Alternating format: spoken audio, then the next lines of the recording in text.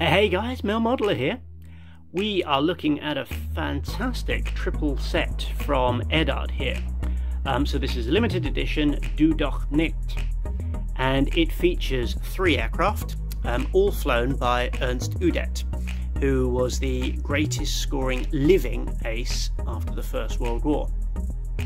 Um, now I'm doing this set to kill two birds with one stone really. Um, we've got the Great Aces group build going on at the moment and we've also got some World War One group builds going on and obviously this fulfills both criteria. Um, so I'm going to be building um, these two, so the D7 and the DR1. Um, this set also comes with the um, Albatros, also flown um, by Ernst Udet. Uh, I'm going to save that for a separate video because I've got the weekend edition and the two two of the decal options there I think are better than the ones depicted here.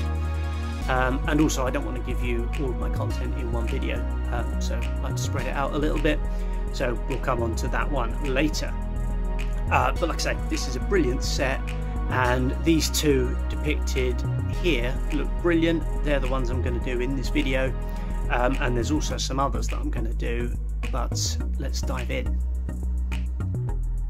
So the box is jam-packed with some goodies. Um, so first of all, we have the uh, DR1, uh, then we've got a double decal sheet, which we'll come on to in a moment.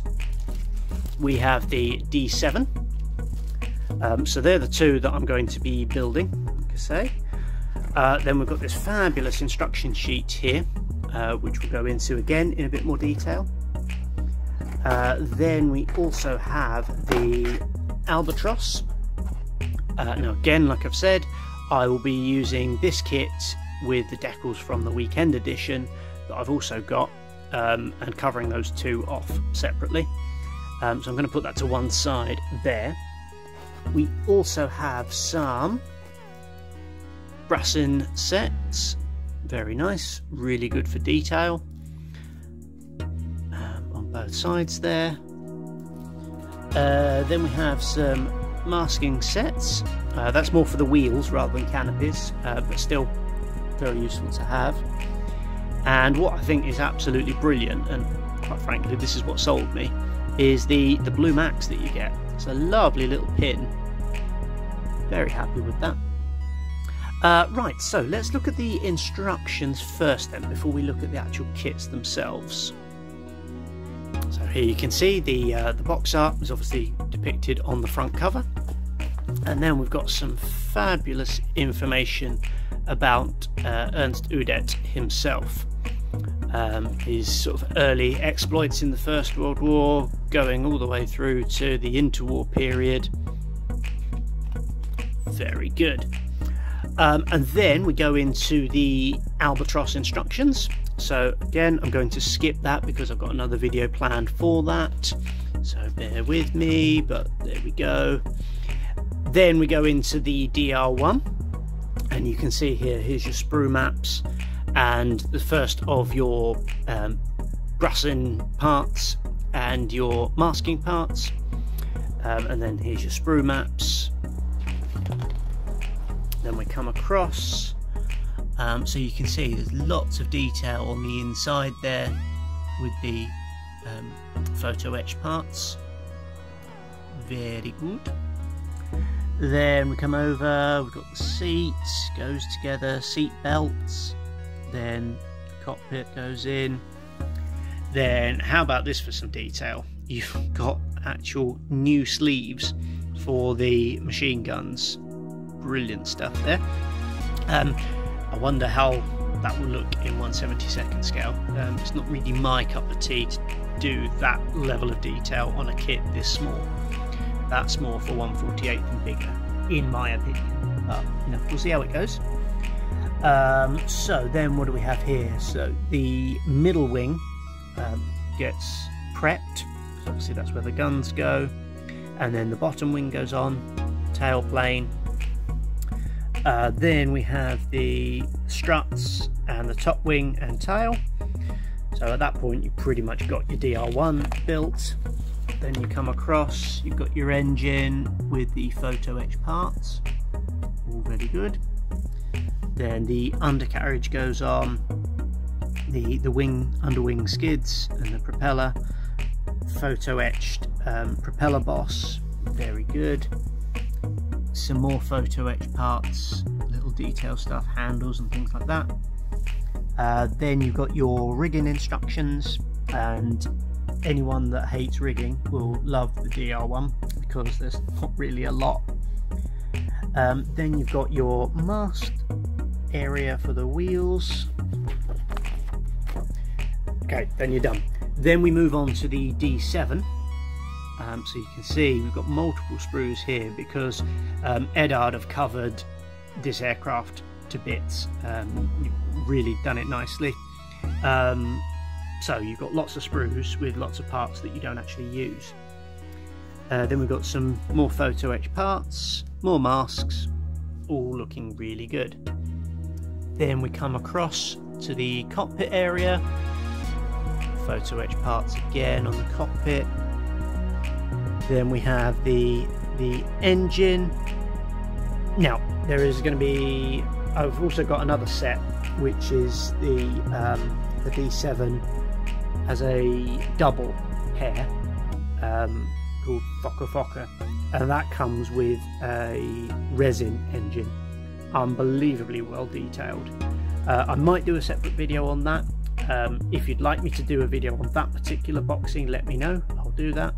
Um, but effectively, you've got the same kit.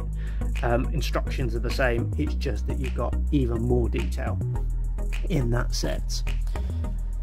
Um, so then we have the um, I forget what it is. It's the OER. We'll we'll see in a minute in the instructions. So the two different types. Um, obviously, one aircraft was built by Fokker, and then there was another type built, I believe, by Albatros on license. Um, so then we've got some more sort of work going on here on the fuselage, and then that all comes together and looks like that. Uh, then the bottom wing goes on, tail plane. So again, a lot of that is covered off. Then you've got the different um, air intakes, um, coolers depending on which aircraft is depicted. Guns go on. Then you've got some stitching there underneath, some photo etch parts on underneath the engine, very nice and detailed struts and top wing go on. Uh, then we come across to the undercarriage. Goes on, propeller, then mast parts again. Uh, then we've got the rigging instructions, and again, not really a lot going on with the 7, which is good. Like I say, if you don't like rigging, if you like it, then not the aircraft for you, I guess. Uh, so then we've got the rib stripes for the Albatros, the D7 and the D7F. And then we come into the colour call out for the different um, aircraft. And this is why this is a brilliant set. Uh, I was very tempted to do this one, um, but I've got a false planned that's going to be in silver. Uh, and I think the other two that I've got depicted for the Albatros in the weekend edition should look better. So that's why I'm not going to do this one, but it does look pretty cool. Who knows, I might get one, another one, and do that. Then we've got this one here, and again, it tells you about each one um, when he flew it. So these are all his aircraft that he flew at some point. Um, and we've got so you've got the three different Albatros options there. Then we come across to the box art um, DR1, and this is the one I'm going to be doing. Very um, flamboyant zebra striped aircraft. Very nice. Um, then this one's a bit more plain, a bit more boring. Um, well, arguably boring. Uh, you might like it. Then we have the D7, and again, this is the box art one that we're going to do. Again, very flamboyant, um, very reminiscent of the Red Baron's aircraft. Nice. Uh, then we've got this one, which I'm also going to do using the Fokker Fokker set. Um, using obviously these decals because I think that looks gorgeous. It's a really neat looking um, D7 there. Uh, then we've got this one, which without the stripes, again very very red, very much like the Red Baron's aircraft. Um, and obviously because I'm going to do this one, I think that that's going to cover that off nicely. Um, but yeah, really lovely set this. Um, and yeah, let's take a look at the sprues themselves. Again, we're just going to look at the D7 and the um, D1. Albatros is another video.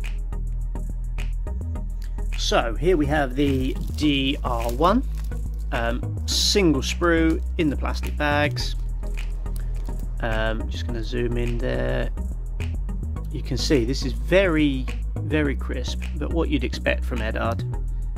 Um, they do a lot of like photo etch detail parts, resin parts, and quite frankly, their their injection plastic is pretty much spot on and that's what I'm seeing here. Uh, so it'll be interesting to see how these go together. I'm expecting them to be pretty good. So yeah, not really a huge amount going on with the DR1, um, but nevertheless, looks pretty good. So let's have a look at the D7. Um, so in this bag we have two sprues, uh, which I think we ought to take out and have a look at. So out of the bag then, let's take this top wing as a starting point. You can see there that's really nice and detailed.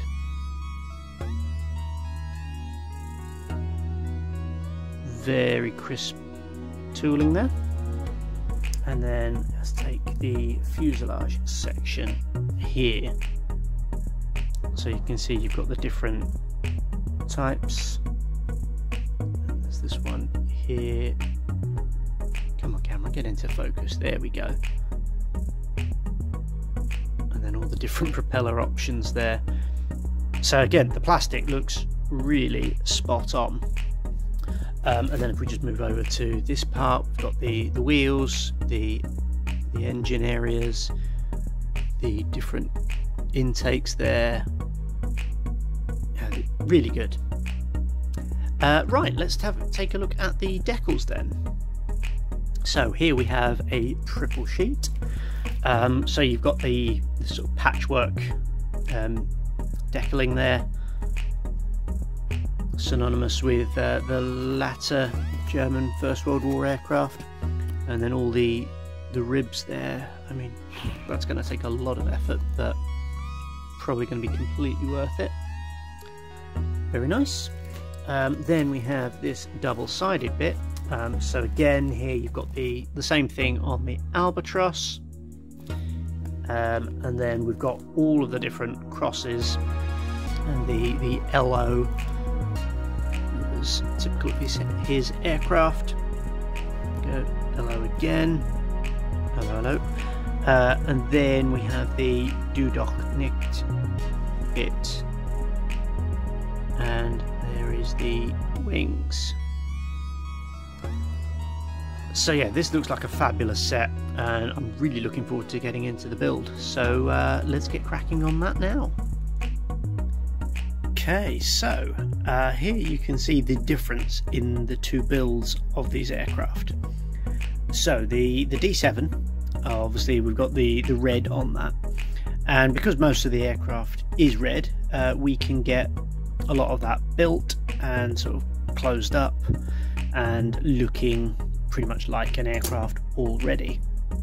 Uh, then obviously we'll start to look at decals on the wings, um, some masking of the engine area, but for the most part the build is pretty much done already.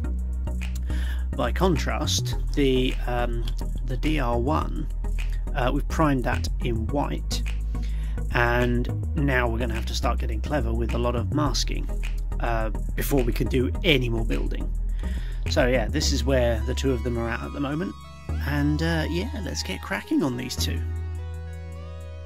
Well, there you have the fuselage masked up, ready for the black and white. Uh, now we just need to do the, the tailplane and the top wing now. That then is the black paint done. So we just need to get the masking tape off and we can reveal, hopefully, what looks like some really cool stripes. Et voila! Very happy with that. Looking really good.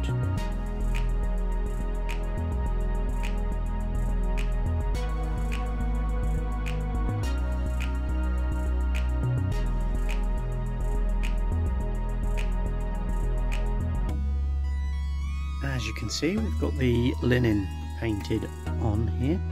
Uh, and basically what I'm doing is using the paintbrush to get the effect that I'm after.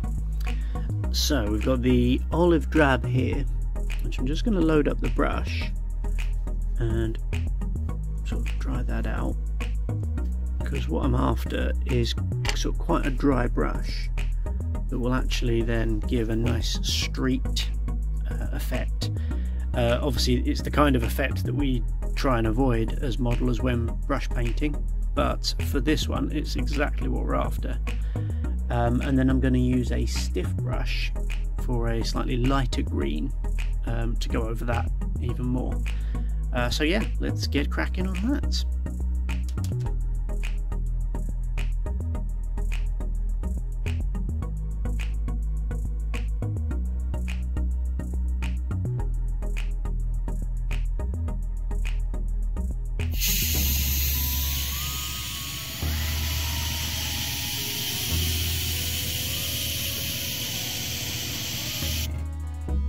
On the two Fokkers then. So we have the D7 here, looking pretty colourful now. Got some decals on there, looking very nice. They've adhered to the model really nicely. Um, obviously you can see we've got the ribs to do. Uh, each one of those will have a separate decal. So still quite a bit of work to do on this one. But we do have a really lovely candy cane red and white ink. Which is looking really quite cool. I'm definitely pleased that I went for the um, the paint finish using the masking tape. Even though it's a little thicker than it was supposed to be I think that looks really good. Very happy with that. Um, and then we move on to the the DR1 uh, which again is looking really quite cool now that we've got the second of the, the three wings on um, the tail plane on, all looking really quite good. Uh, and what I'm about to do now is obviously this lovely zebra stripe pattern. Made a bit of a boo-boo, um, it's supposed to look like that on the top and the bottom. Um, so what we've done is we've just obviously masked that off and we're going to get some paint on that now and yeah soon we'll be ready to put that top wing on and it will look like a triplane again